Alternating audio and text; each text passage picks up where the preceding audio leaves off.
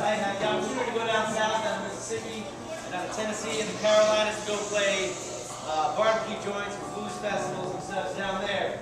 And uh, that's where I really saw these things being put to use. Uh, these have been made, uh, cigar box instruments have been made for hundreds and hundreds of years. Anybody here ever heard of Muddy Waters?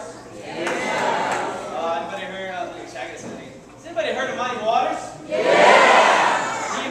Electricity, think about it. His first instrument was a cigar box instrument. Same thing with Lightning Hopkins, Buddy Guy, these are American masters.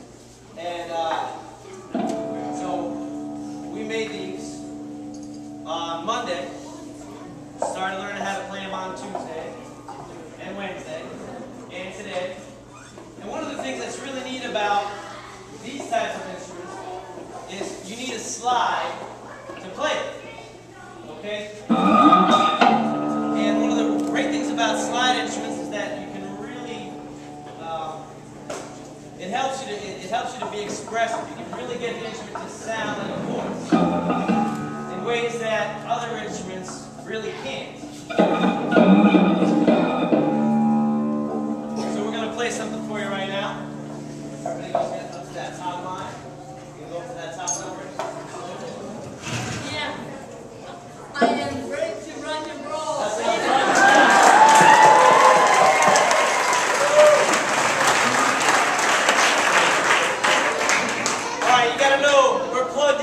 might get loud.